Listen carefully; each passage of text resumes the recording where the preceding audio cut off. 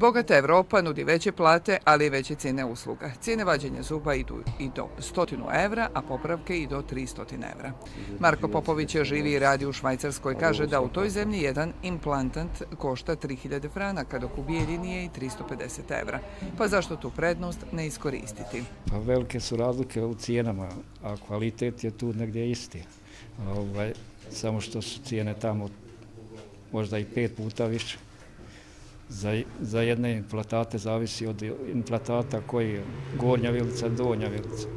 Košta, ako hoće, od 15 do 20 hiljada franaka. A ovdje nam je ono jeftinije, a isto dobijemo.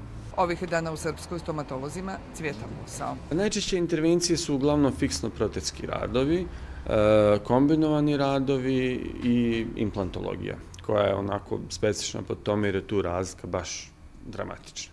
A odgovorno tvrdim da da stomatologija kod nas ne zaostaje ni po kom faktoru u odnosu na stomatologiju koja se radi na zapad. Sad mahom dolazimo svi, jedan od drugog čujemo, tako da dođemo od prijatelja, od, od rodbine, od komšija. Ništa manja gužva ni kod frizera, jer u bogatoj Evropi šišaju vas za paprenu cijenu. Ako hoćeš samo onako kod nekog ono, brzinski na neku frizurcu, to možda 70 maraka. Ako hoćeš kod nekog ko je renomiran, tu može da ti izađe 200 eura. Neki specijalno dolaze u avion, pa u zavičaj po frizuru. Sad malo češće, vjerovatno, zato što su i avionske karte mnogo jeftinije i dosta mi klijenti govore da je mnogo im jeftinije da dođu i ovdje, da vide svoje najmilije, da dobiju uh, uslugu kod nas frizersku ili stomatološku, koji su mnogo jeftinije različite, nego da plate za jedan tretman tamo. Kogo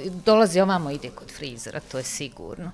I, ali kažem, nije presudno samo cijena, nego i što smo zadovoljni kako kako radi ljudi ovdje. Nemamo fabrike, ali što se tiče uslužnih djelatnosti, mi imamo šta da ponudimo Evropi. I kvalitet i stručnost ukazuju naši sagovornici.